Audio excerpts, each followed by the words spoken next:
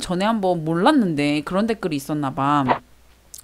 제가요 예전에 방송을 핸드폰 모바일 방송을 켜놓고서 이렇게 애기랑 이렇게 애기랑 같이 있는 그러니까 막 뭐 지금은 전쟁 중입니다 막 이렇게 방제를 달아놓고 애기랑 같이 있는 방송을 했어요. 애기 이제 잠들어가지고 그 바운서 바운서 바운서 바운서에다가 애기 이렇게 딱 눕혀놓고 이렇게 움직이게 냅두고 그러고서 이제 잠깐 빨래가 다 됐었나 그래서 빨래를 거 들어갔나 아무튼 막 그랬어요 잠깐 자리를 비운 상태였어 잠깐 비웠어 그렇게 해놓고 캐, 캠을 이제 애기한테 이렇게 딱 해놓고서 카메라를 이렇게 해놓고서 애기가 자고 있었고 그리고 잠깐 갔다 왔어요. 갔다 갔다 오느라고 난 채팅을 못 봤지. 근데 나중에 알았는데 거기다가 누가 채팅을 쳤더라고.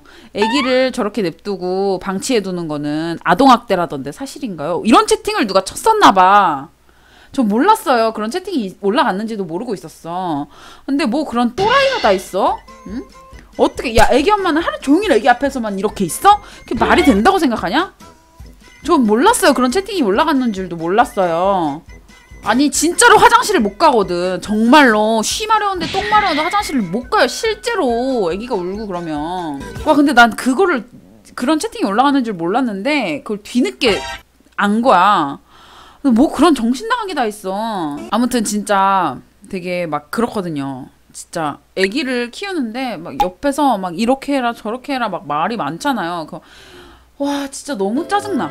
진짜로. 임신했을 때부터 먹는 걸로 시청자들이 스트레스 겁나 줬잖아요. 맞아. 저는 임신했을 때부터. 이게 사실 내 직업이다 보니까 어쩔 수 없이 가지고 안고 가야 하는 거긴 해요. 그렇긴 하지만 적당해야지. 한두 명이어야지. 진짜 이게 너무 스트레스를 받는 거야 임신했을 때도 먹는 것 때문에 되게 스트레스였어요. 이제 임신을 했잖아. 그러면 막 이것도 먹고 싶고 저것도 먹고 싶고 막 좀 그렇잖아요.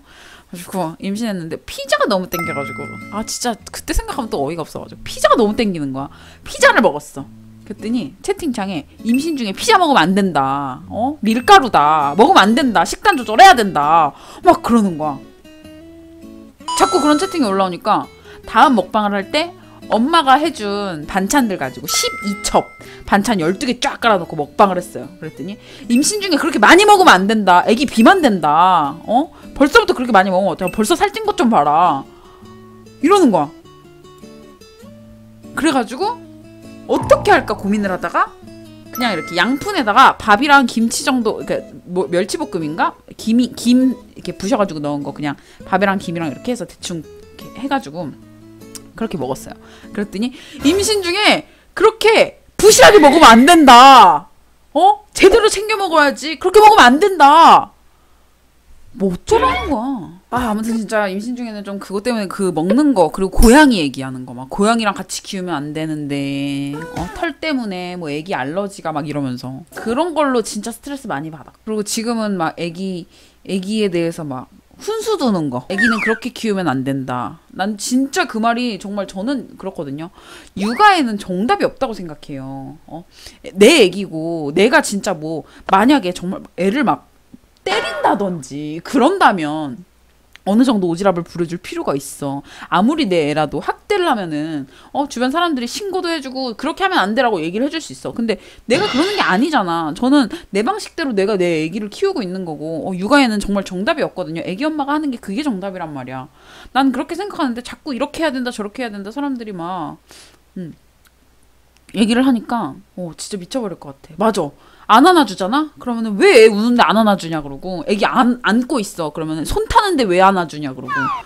와 진짜 어떻게 어떻게 해야 되는 거야 도대체? 어느 장단에다 맞춰달라고. 아 아무튼 진짜 어, 앞으로도 방송에서 막 육아 훈수 두거나 막 그런 사람들 있으면 어 여러분들이 좀 한마디 해줘요. 알아서 어, 왕주가 알아서 할 거니까 네 조용히 하라고 한마디씩 해줘요. 제가 이제 그러니까 원래 이렇게 어느 정도 그러니까 훈수 개념이 아니라 그냥 어느 정도 조언 정도라면 그냥 웃으면서 넘어가고 참고할 수 있어. 나도 모르잖아. 저는 아기를 처음 키워보기 때문에 저도 모든 걸 알, 알진 않아요. 그렇기 때문에 누군가가 조언을 해주고 누군가가 약간 음, 좀 이렇게 어느 정도 이렇게 뭔가 이렇게 좀 도움을 주기 위해서 뭔가를 해준다면 그런 거에 대해서는 딱 얘기 듣고 아 이런 것도 있구나 이러고 참고 정도는 할 수 있어요 당연히.